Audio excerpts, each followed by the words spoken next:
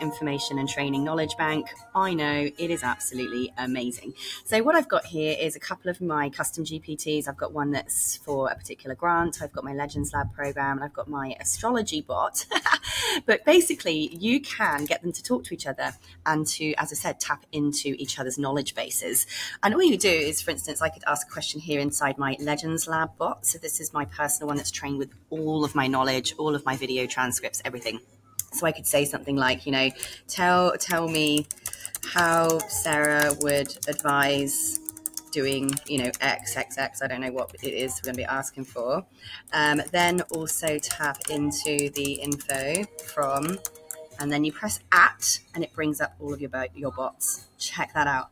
Press at, and I can now say, and now tap into Sarah's astrology bot, and boom, it's going to allow me to work with that bot inside this bot.